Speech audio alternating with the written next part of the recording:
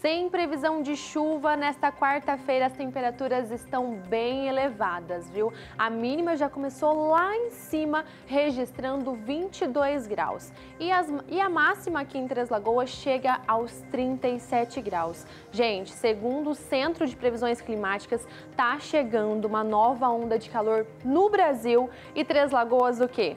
Não fica de fora, né? Falou que é calor, é aqui em Três Lagoas também. Então já vai se preparando, já vai cuidando aí da sua saúde, já vai, né, tomando aquela água, porque tá chegando mais, mais calor aqui para nossa cidade e região. Vamos dar um pulinho lá fora para saber como que estava o tempo hoje pela manhã? Exatamente, olha, imagens feitas pelo nosso repórter cinematográfico Max Silva, direto lá do centro de Três Lagoas. E olha só, gente, céu aberto em Três Lagoas, sem previsão de chuva nesta quarta e quinta-feira também, viu? Amanhã não tem previsão de chuva aqui para nossa cidade.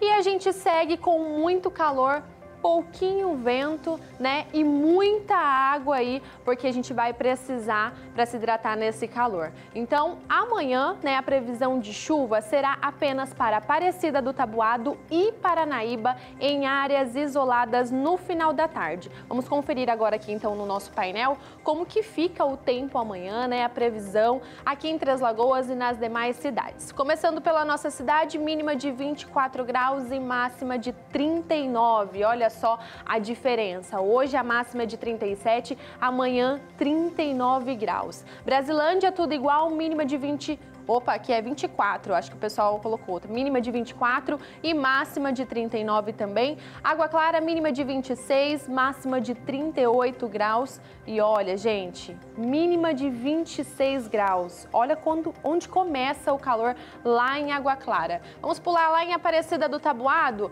saber como que fica o tempo por lá. Olha só, tem previsão de chuva no final da tarde, tá? Finalzinho da tarde aí, em áreas isoladas, mínima de 24 graus e máxima máxima de 37. Paranaíba, a mínima por lá é de 25 graus e máxima de 38.